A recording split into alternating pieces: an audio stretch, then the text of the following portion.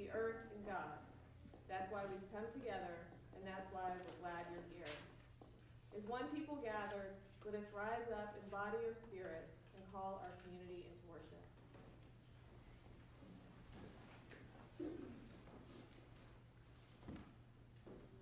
You are the salt of the earth and the light of the world. We are the salt of the earth and the light of the world.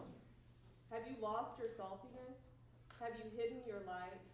For the world will tell you that you are not called, that you do not have the gifts, or are too young, too old, too busy, too much in debt, too inarticulate.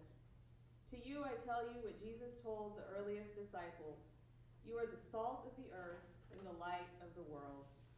We will let our light shine before others, giving glory to God.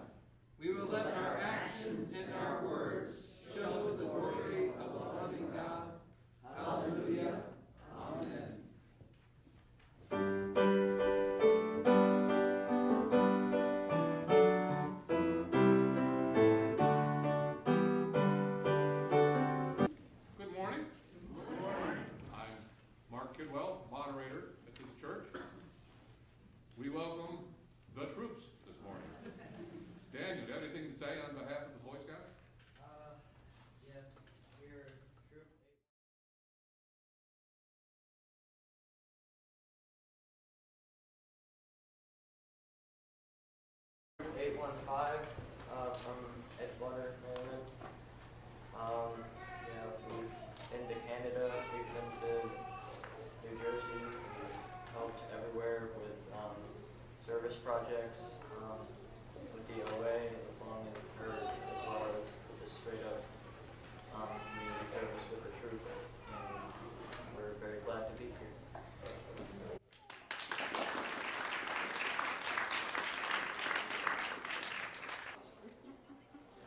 Good morning, friends. Morning.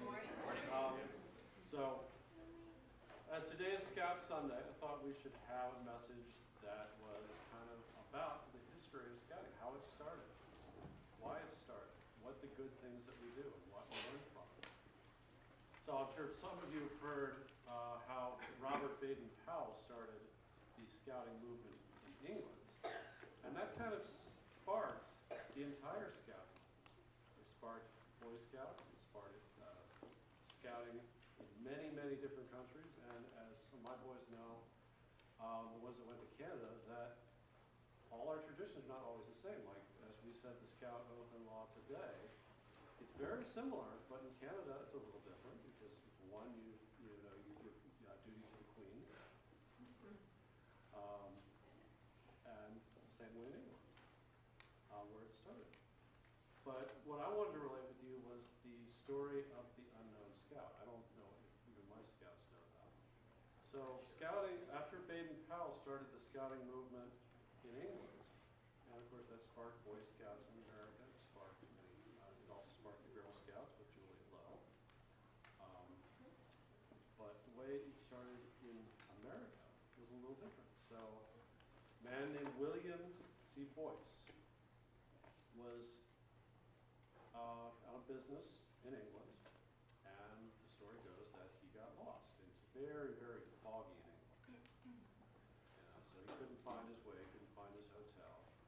And he found this young man, oh, okay, who, um, who was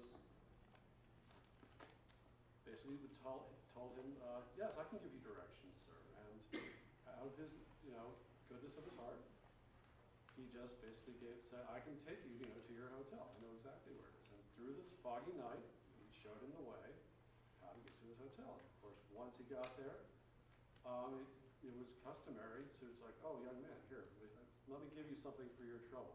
And he said, no, sir, I can't take that. I'm a scout.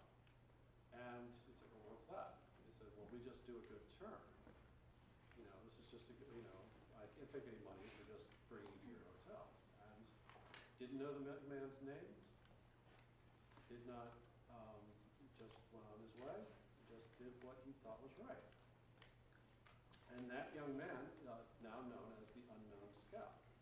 Because William Boyce thought, oh, wow, this is a really great thing. He learned a little bit more about what Baden Powell had started in England and decided to bring it here to America. And so one good deed one young person changed an entire movement for the entire world.